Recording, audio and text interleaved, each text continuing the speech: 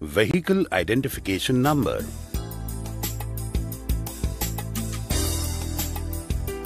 Engine Number Engine number is punched on crankcase. Tire pressure Check and maintain tire pressure for better stability and road holding. Spare wheel The spare wheel is located below the driver's seat.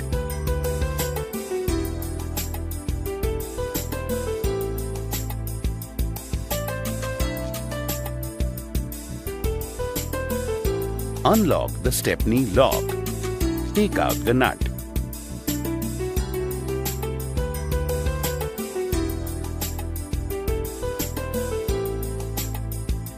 Take out the spare wheel. Jack. This is the jack point just below the dome frame. This is jack point on both the triangles just behind the wheel. Ignition key. The ignition switch is located to the left side of the handlebar. Turn the handlebar towards left side. Rotate ignition key clockwise to lock the steering. The clutch lever is with gear lever. Never try to shift gears when the engine is not cranked.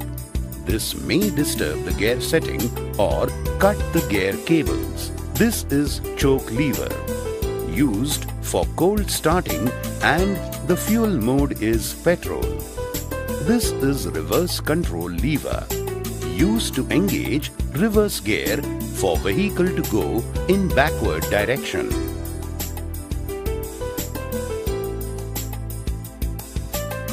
This is hazard switch. This will switch on all the four indicators. This is an emergency signal.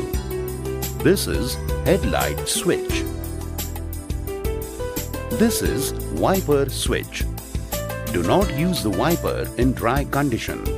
This may cause scratches on the windscreen. This is accelerator lever. Push this button to start the engine. This is horn button.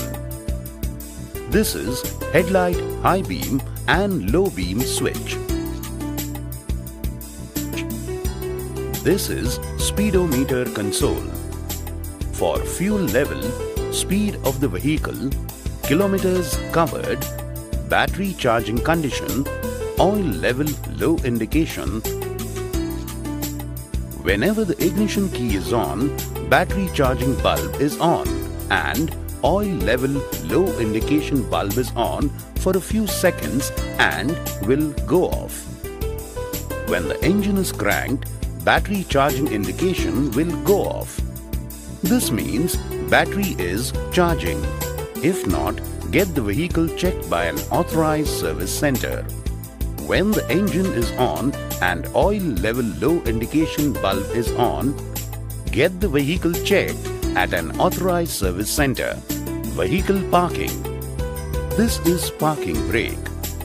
Press the knob. Lift the lever up. Release the knob. Press the knob to release the parking brake. Push the lever down completely. Fire extinguisher is located next to driver's seat on right hand side. First aid kit. The first aid kit is supplied with vehicle. ECU. ECU is located next to ignition switch. This is electronic changeover unit from one fuel to another. It has three positions. Press the button up to run the vehicle in gas mode. Keep the button in center to cut off the fuel supply. This mode is used to burn the petrol in line when you are switching the mode from petrol to gas mode to avoid mixing of two fuels and hence misfiring. Press the button down to run the vehicle in petrol mode. All green LED, full tank, red LED, reserve condition. LPG filling. This is the gas filling point. Lift the flap to fill the gas. Please note, the cylinder will be filled 80% only.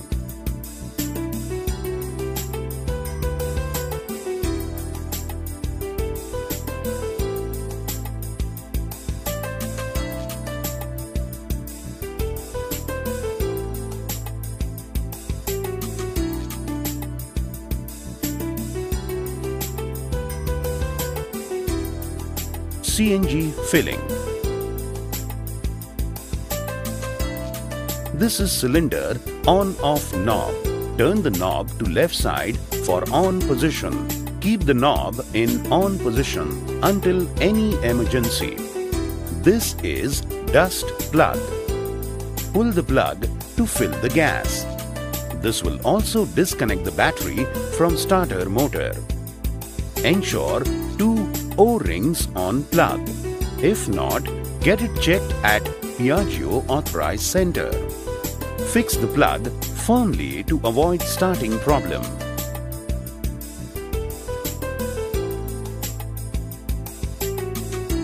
Battery switch. Battery switch is located to the left side of driver's seat. This puts the battery in off condition when the vehicle is not in use. To switch on the vehicle, turn the switch to right side. Engine oil. Check and top up engine oil. Remove dipstick. Check the level between minimum and maximum mark. Top up if required. Use recommended oil. 15W50 SL grade oil.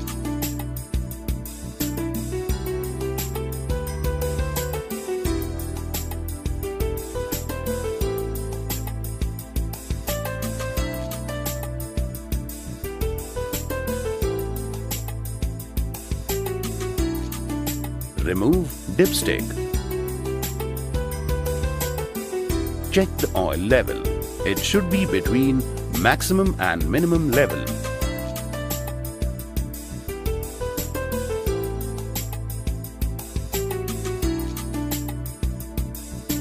Top up if required. Use recommended oil.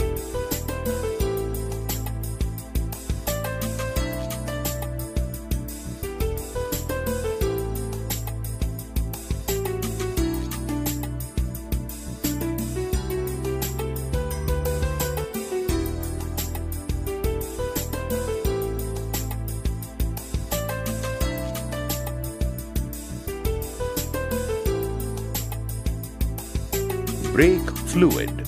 Brake fluid reservoir is located below the driver's seat. Check the level. It should be between maximum and minimum. Top up if necessary. Use recommended brake fluid.